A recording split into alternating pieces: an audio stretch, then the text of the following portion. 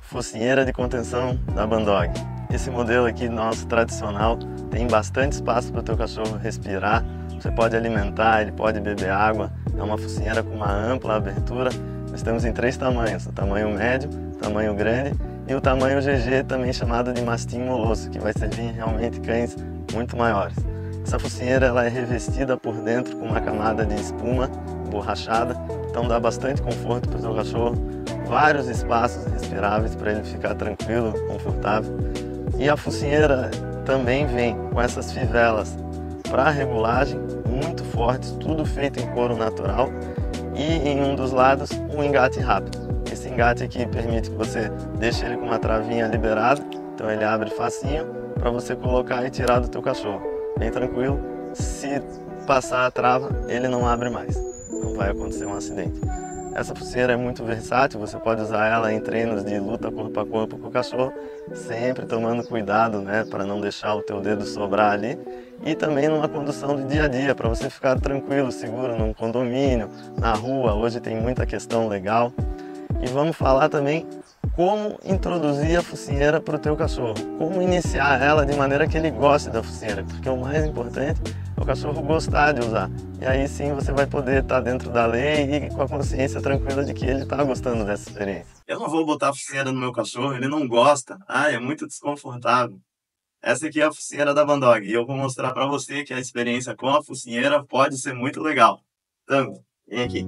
Esse aqui é o nosso piloto de testes, o Tango. O Tango é muito acostumado desde pequeno com focinheira. E como é que eu comecei isso? Você começa o exercício da focinheira transformando ela num pote, num pote onde ele se alimenta. Então vou mostrar aqui, eu vou pegar um pouquinho de ração e vou fazer ela como um formato de pote. Vocês veem que ele já conhece, ele quer a ração.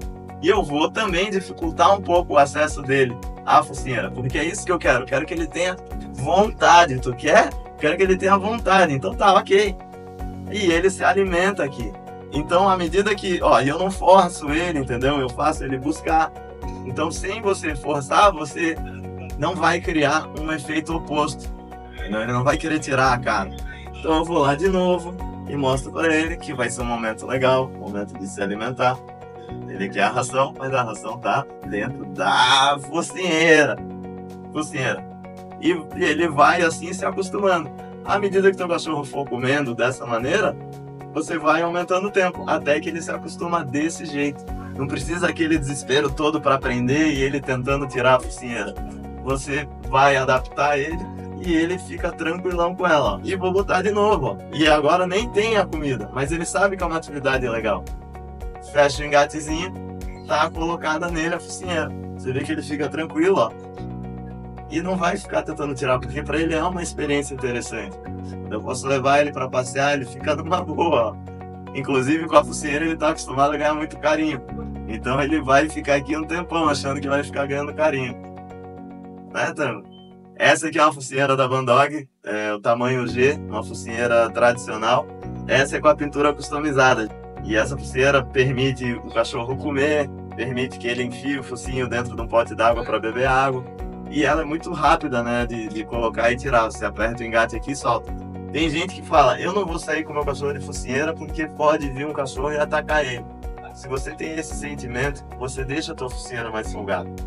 Porque se você precisar da focinheira, de repente seu cachorro é mais bravo, no primeiro momento ele vai ter um impacto na focinheira e você rapidamente toma atitude na condução dele.